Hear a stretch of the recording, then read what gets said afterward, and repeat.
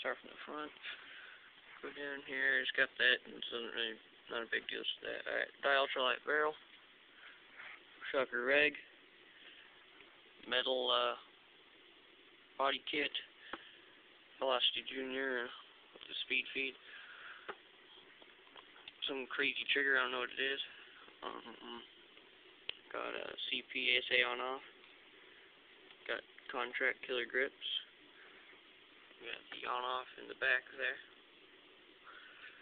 And of course, bam, it's on. Virtue board. The XS uh, carbon tank thing under there. And uh, shoe tank cover. And that's it.